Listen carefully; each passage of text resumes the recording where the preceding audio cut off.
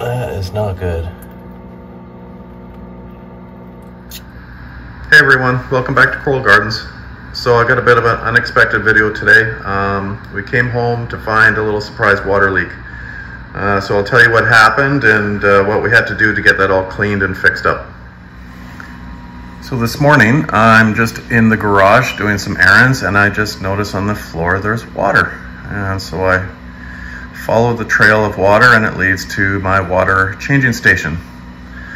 And I found a a little surprise on one of my containers that I thought was good for holding water, which apparently is not. Um, I'll show you what I found here. Oh.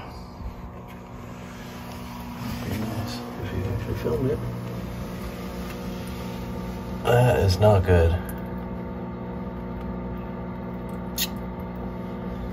Guess these are just not really meant for, for supposed to be commercial brand. I guess I can't handle the water pressure inside of them.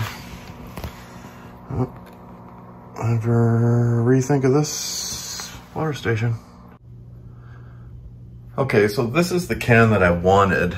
Um, I use this one for quarantine, for mixing up quarantine uh, water for the fish. Um, it's 44 gallons and it's plenty strong to hold water. This was not available when I was looking to buy the containers for my water station. So I did end up buying a different kind of garbage can. So the can on the right is what was available at the store and uh, that was as big as I had. And uh, ju I just wanted to hold more water than that. So I made a different choice and I bought a larger container. I'll show you the one I got. So after a bunch of shopping around, I saw this garbage can here and it holds 50 gallons and that was really basically what I wanted. Um, it's a commercial grade heavy duty can. I thought, oh, I just plumb it through the bottom and it looks like it's strong enough that a, a machine could hold it. it. Looked like it would hold water. Clearly that was a bad decision uh, because it held water for a while and then it did not. I'll show you where it failed. It failed right here where this connects and it's just because the plastic for this is just not robust enough to hold water, so it flexes when it's full under pressure. And it flexed at this point here where this bar is, and it just cracked it, and yeah, all the water came out. So we that was a stupid mistake. I should have known better not to use this. I kind of saw it flexing when I filled it and just kind of hoped for the best, but uh, clearly it didn't work out for me. So I'll show you the new one that I got. All right, so this is the new one. It's brand new. Uh, it's 55 gallons, so it's even a little bigger. Uh, it's it's safe for drinking water, so it'll be okay for the uh, the salt mix inside. And the plastic, the th thickness of this is just in, you know, it's probably three, four times. So makes sense. I don't even think this will flex when it's full of water. So I'll plumb this one in and, and switch them out. And uh, yeah, I'll show you the result. Okay, I've got the top container uh, installed and plumbed in. Uh, this whole area is temporary. There's going to be an upgrade. I'm going to move everything to a different room uh, at some point when I get to it. Um, but for now, this is a temporary uh, water change station area. And I've, you know, I can access, I've just got a, uh, a pipe here so I can take water out manually if I wish. Um, and this I let fill up with RO water and then I add the salt. There's a pump inside as you can see.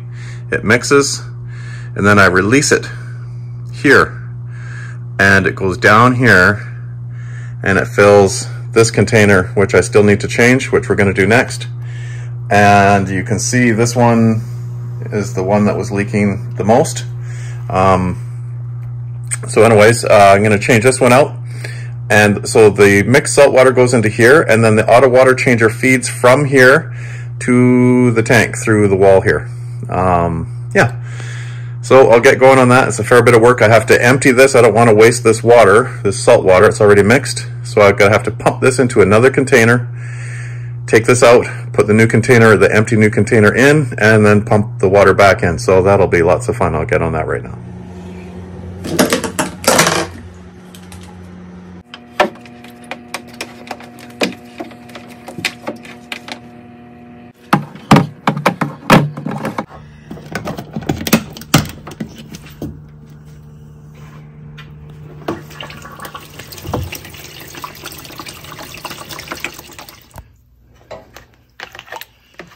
Mm-hmm. pump it all back.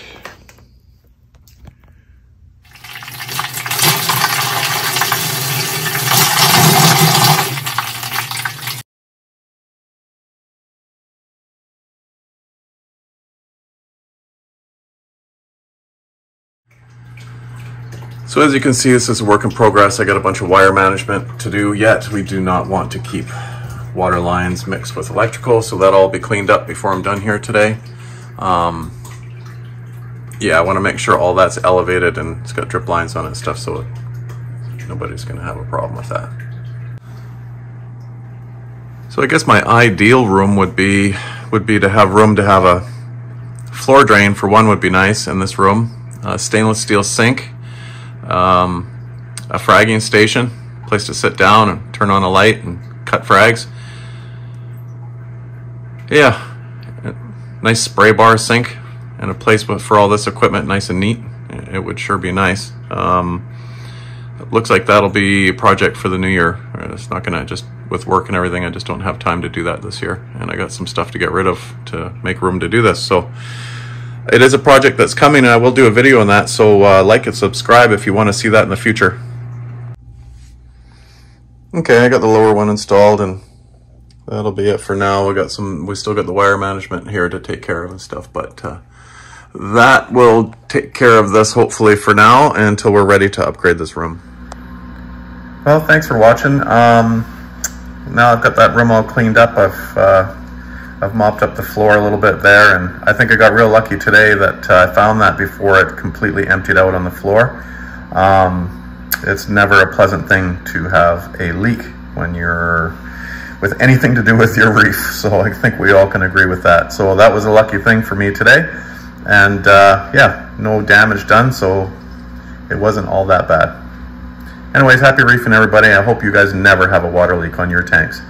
And if you want to see that future room that I'm going to be building for my RO station, um, please like and subscribe.